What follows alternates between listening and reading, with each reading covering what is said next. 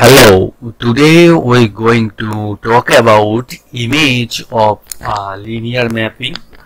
So let me uh, just recall you. So uh, what is a image of a function or a mapping? Because a linear mapping is basically a mapping so we can talk about the image of a linear mapping or the linear transformation. So first of all, let me recall you. So what is the image of a mapping? So recall that recall. So if we have a set A with two elements 1 and 2 and B is another set with three elements. Suppose it's A, B and C.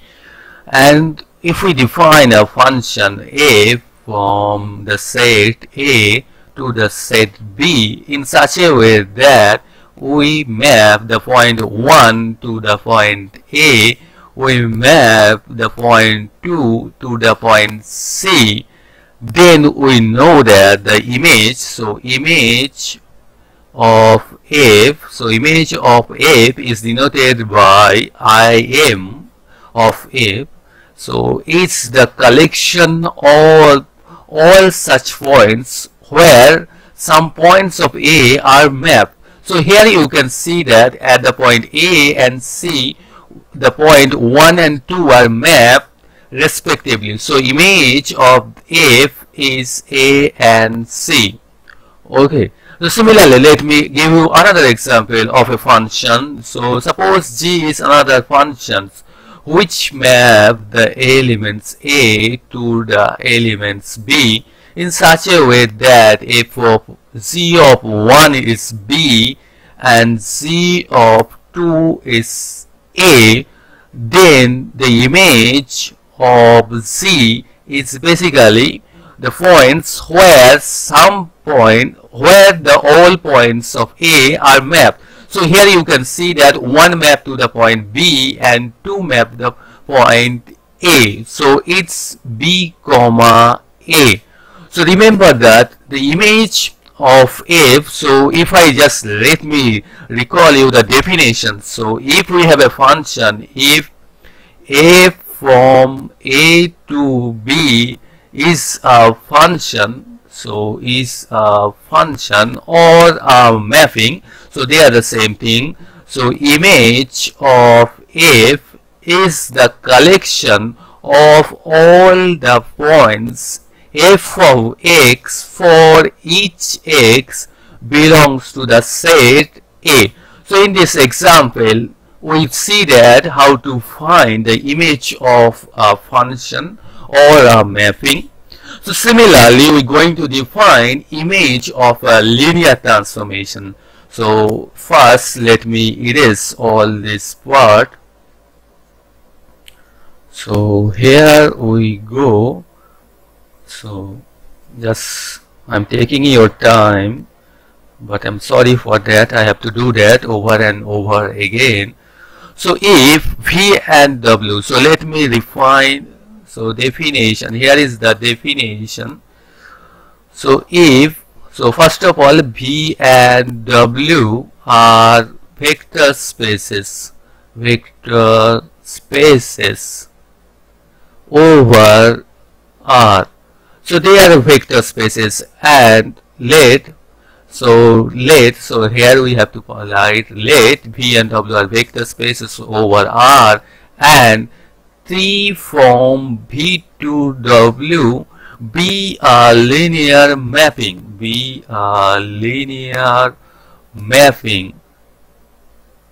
Then the image, then the image, image of T is denoted by the sign. So it is denoted by the sign I am I am for it past two words of the words image I am of T and is defined as follows. So let me define it. So image of image of T is the collection is the collection of T of alpha for each alpha belongs to so alpha belongs to V so that's the image of a linear mapping. So you can see clearly see that we have a vector space V over here and we have another vector space W so here is W. So if we take any point alpha so after the transformation is goes to the point t of alpha. So this is uh, t of alpha is a vector of w. So we are taking this all such collection of vector of w. So clearly image of t so image of t is a subset. So image of t is a subset of w. So remember that image of t is a subset of w. So here we have a very beautiful theorem. So it says that remember these results. So it says that so here we have a beautiful results. We already know that kernel of a linear transformation is a subspace of V so here also the image of so image of T is are not only a subset of W is also a subspace. So it's a vector space. So image of T is a vector space of the vector space. So this vector space so let me sorry for that. So vectors subspace. So it's a subspace. So is a subspace of the vector space W. Okay, remember the results. Image of T not only a subset but it must be a subspace of W. So let me give you an example where we're going to find the image of a linear transformation. So first of all, let me erase this part. So remember this result, the image of T is a subspace of W. So we'll talk about it uh, by examples. So here just give me one examples, very trivial examples. So here we have the example. Suppose T is a mapping from R3 to R2 is defined by is defined as t of xyz because the xyz is a vector of R3 so we write t of xyz so t of xyz now is a vector of R2 so we define that all vectors goes to the zero vector of R2 so this is true for all xyz of R3 so we already know that this is a linear transformations and you can clearly see that. So these are linear transformations is a linear transformation. So if you are unable to understand why it is linear transformation, I will recommend you just go through the concept of linear transformations and check it by yourself why it is a linear transformation. So these are linear transformations. And you can see that each vector of R3 goes to the zero vector of R2 so we are taking so all such T of alpha. So here alpha is so image of T image of T is T of alpha for all alpha belongs to V. Here the say vector space V is R3 so alpha is any xyz. So it's the collection of T of xyz. So xyz. So here alpha is xyz and for all xyz belongs to the vector space V. So now what we know T of any xyz is goes to the point 0 0. So image of T is the 0 0. So we get the trivial vector space, trivial subspace 0 0. So this is one of our example where we going, we have find out uh, the image of a linear transformation. We're going to with some non-trivial examples. Uh, before that, I want to state a very important results. So here is the very one of the very important results from these sections of image of a linear transformations. So it says that, so just let me erase this part. So here we go. So just let me erase all these parts. So here we go. So eh, here you have a very good result. So result. So if we have a linear transformation, let T from V2W be a linear mapping. So we have a linear mapping. So it says that if if alpha 1, alpha 2 up to sub alpha k, suppose we have a k vectors, if b are basis, so b are basis vector, so b are basis vectors of b, so this is all are the basis vectors of b, then then we are talking about all the basis vectors. All the basis vector for a basis. So first just take it. Uh, so instead of basis vector just take the basis. That will look more good.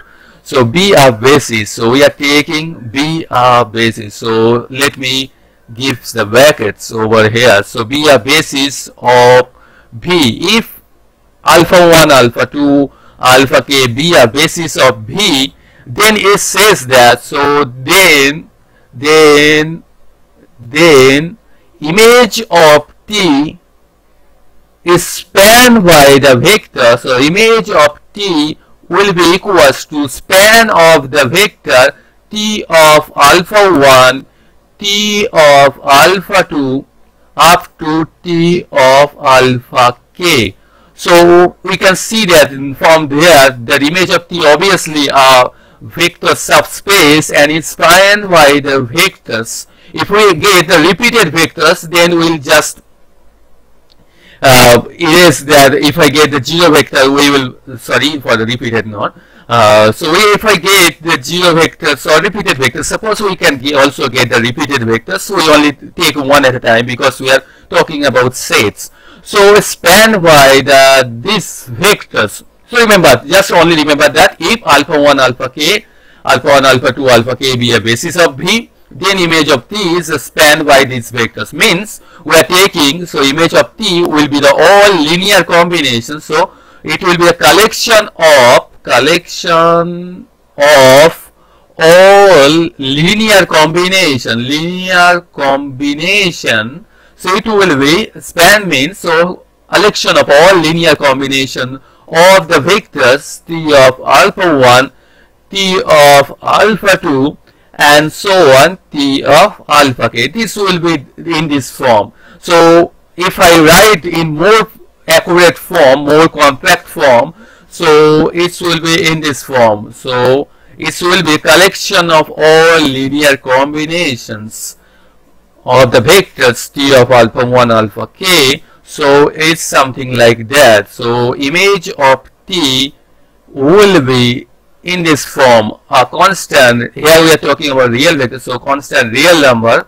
So let's take a1, a2 t of alpha 2 plus the, the ak t of alpha k and where all ai's so all a's are real numbers so here we are taking any real numbers. AIs are reals, are real. So AIs belongs to the set I. So I equals to 1 to K.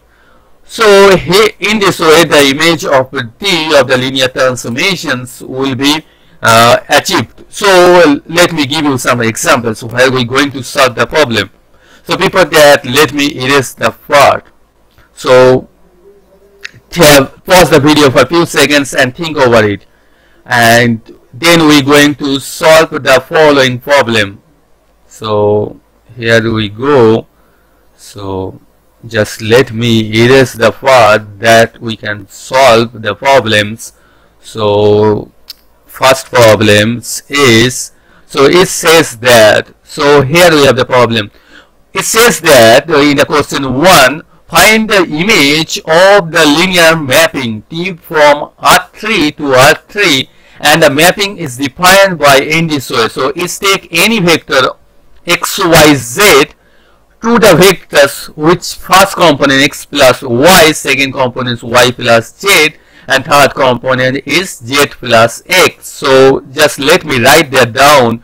So what we get, we have, so it says T is a linear transformation which take the vectors of R3 to the vector of R3. Because we know that any vector of R3 is of the form x, y, z, so it takes x, y, z to the points x plus y, y plus z, z plus x. So in this way the mapping is defined.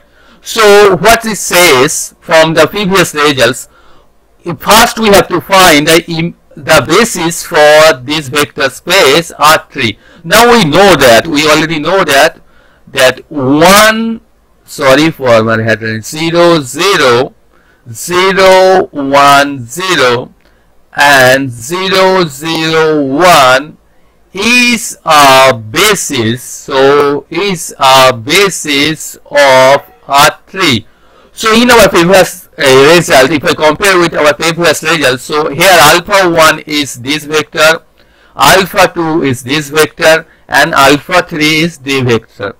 And obviously k is 3 over here. So from the previous result, what we know we know that image of t is spanned by the vectors. So it's spanned by the vectors t of alpha 1, t of alpha 2, and t of alpha 3. So now what is the value of t of alpha 1 means what is the t of alpha 1 which means what is t of 1 0 0. If I put over here for in this rule you can see that x is 1 y is 0 z is 0 so it will be 1 plus 0 0 plus 0 0 plus 1 so we get 101. Next, T of alpha 2 is T of 0, 1, 0. So here x is 0, y is 1. So here x, this x here is 0, this y here is 1. So this z here is 0. So it gives 0 plus y. So y is 1. So 0 plus 1 1 plus 0, 0 plus 0. So we get 1, 1, 0. Next, t of alpha 3 which gives 0, 0, 1. So here x from this rule x is here is 0, y is here is 0, z is 1. So what we get? We get 0 plus 0 0 plus 1, 1 plus 0. So we get 0, 1, 1. So what we get from that? We get that. So first let me erase the part. So, so if I erase this part, so what we get now?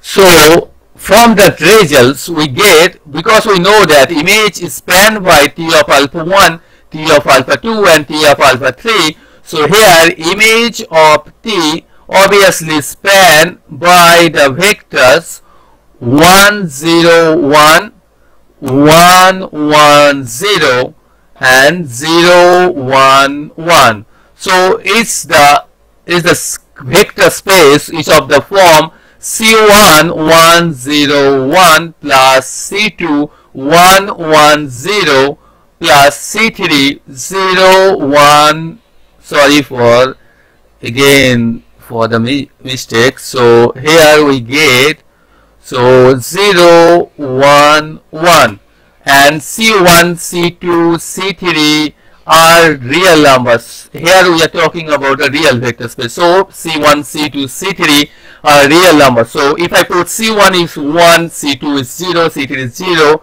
we get one vectors. If I put C2 is something 5, C3 is 2020, we get another vector. So image of T is a collection of all such vectors. So different value of C1, C2, C3, we get the different vectors. So we get different linear combinations. So image of T is spanned by the vectors.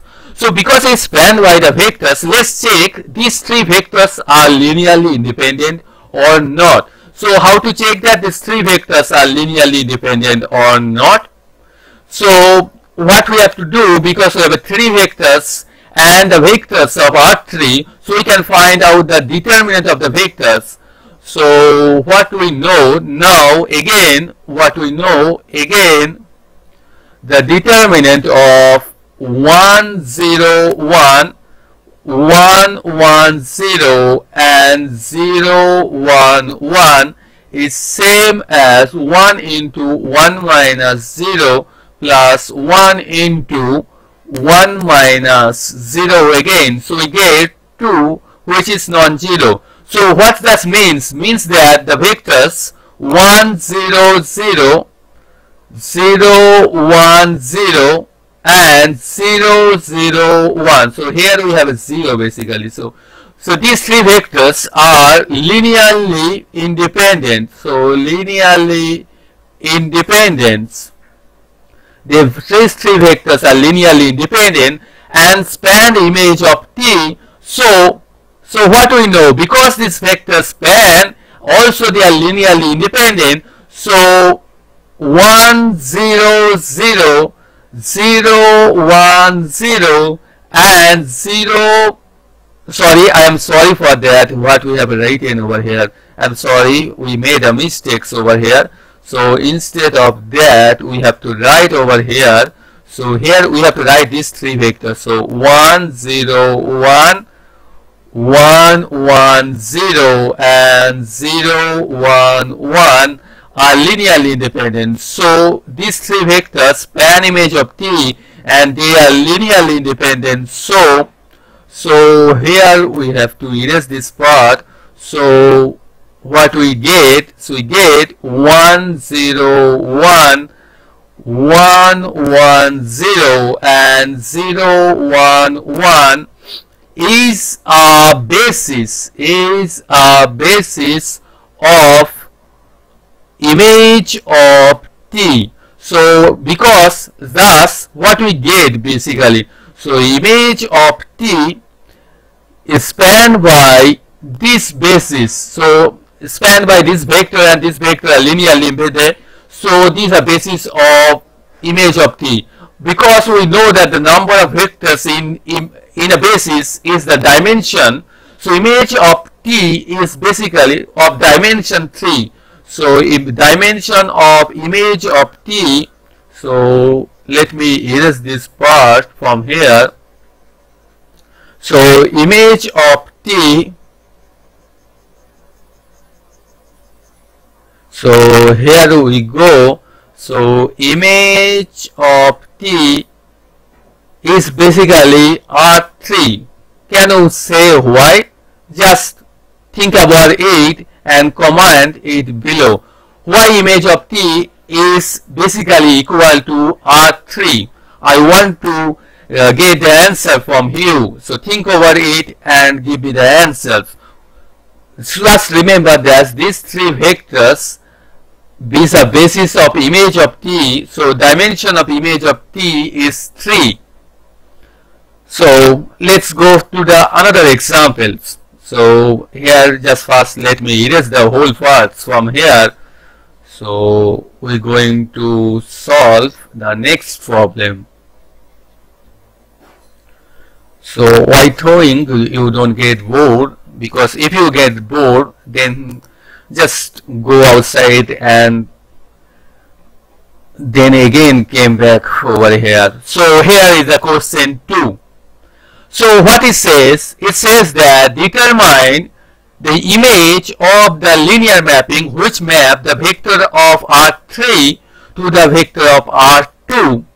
So what is given, instead of given the formula like this or the rule like this, it is given as so already provided which maps the basis vectors of R3 to the vectors 1 1 2 3 and 3 2 respectively so it's take the basis vectors to the vectors of R3 R2 so let's what we know from there. So it is given that what is given just first let me write that down. So given t of 100 is so here we go t of 1000 is 1 1 t of 0 1 0 is I think it's 2 3 so but let me check. So it's 2 3 and next one is 3 2 so 0 1 1 is 3 2 what we have to do we have to find so we have to find find image of t.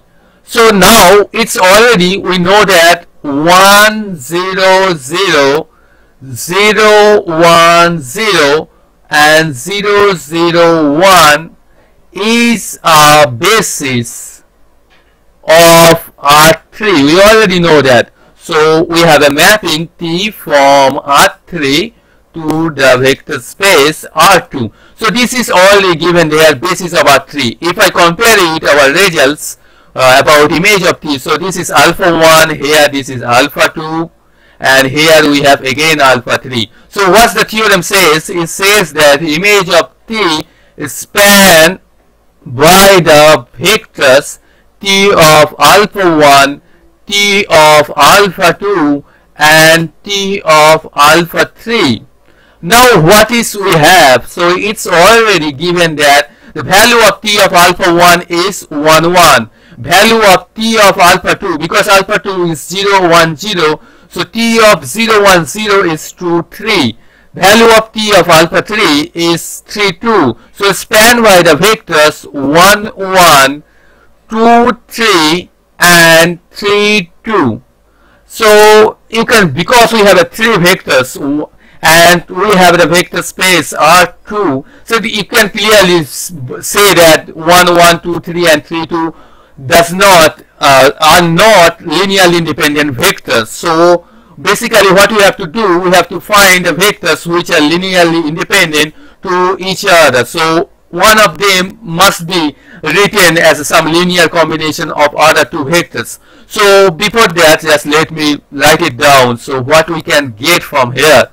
So does the vector 2, 3 and 3, 2 are linearly independent? What we get? So we get 4 minus 9. So non-zero. They are linearly independent. Can I express 1, 1 as a linear combination of other two vectors? So if I express so C1 to 3 plus C2 3 2 so what do we get from there so we get 2c1 plus 3c2 and 3c1 2c2 so from there we get the two equations. So let me erase the this portion. So what we get from here so let me write down here.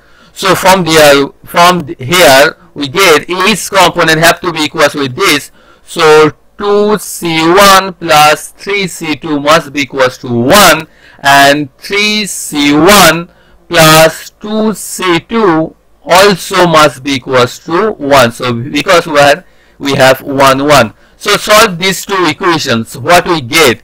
So multiply the other equations with 3 so we get so write it 1 and 2 is second is 2 so 1 into 3 minus 2 into 2 so we get 6c1 plus 9c2 is 3 and here we have minus 6c1 minus 4c2 minus 2 so after that what we get it will be cancelled out. We get 5 C2 is 1 so C2 is 1 by 5 so from there just let me erase the part. So if I erase this part what we get from here so C1 is so from oh, equation 1 from 1 I will recommend you just do it by yourself. So 2c1 equals to 1 minus 3 by 5 so it's 2 by 5 so what we get c1 is again 1 by 5 so c1 is 1 by 5 and c2 is also 1 by 5 so we can see that 1 1 can be written as a linear combination of these two vectors. So basically because one vector can be written as a combination of other vectors so 1 1 is depend on these two vectors. So and we already seen that we have already seen that 2 3 and 3 2 are linearly independent. So this span by the vector 2 3 not only span so 2 3 and 3 2 2 3 and 3 2 is a basis so is a basis of image of t. So from there, because we have a 2 vector, so dimension of image of t is 2.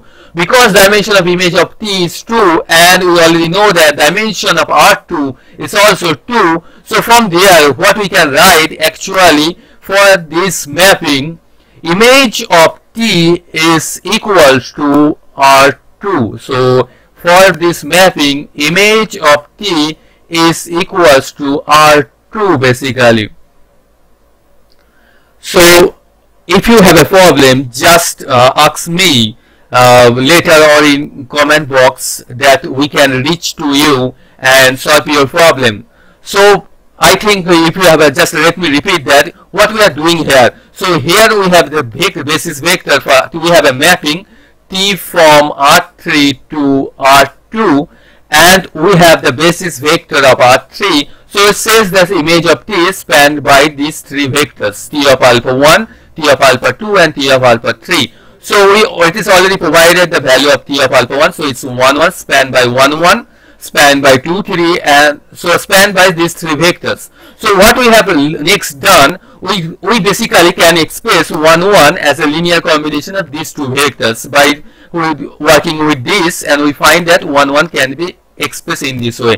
So span of this is same as span of 2, 3 because one vector if uh, in the span set if one vector can be expressed as a combination of other vectors then we can drop that vectors and only can write these vectors that span by these two vectors others vectors. So if one vector of the spanning set can be written as can be expressed as a combination of other vectors then we can drop that vectors and we can write that this set is same as span by other vectors. So here 1, 1, 2, 3 and 3, 2 is same as span set of this is same as 2, 3 and 3, 2. And because the determinant from there we find that these two vectors are linearly independent so we find that 2, 3 and 3, 2 is the basis of image of T.